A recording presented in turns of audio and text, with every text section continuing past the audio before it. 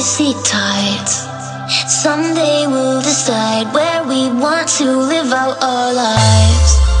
For now, we're two sparks tumbling along, keeping the heat on, even though summer's coming and gone. I would say.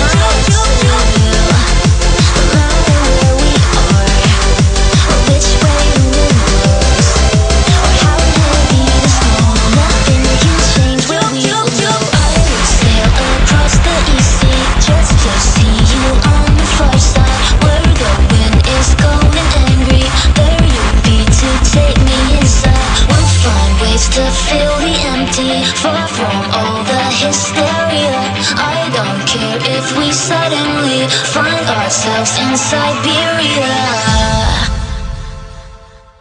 I would sail across the sea just to see you on the far side Where the wind is cold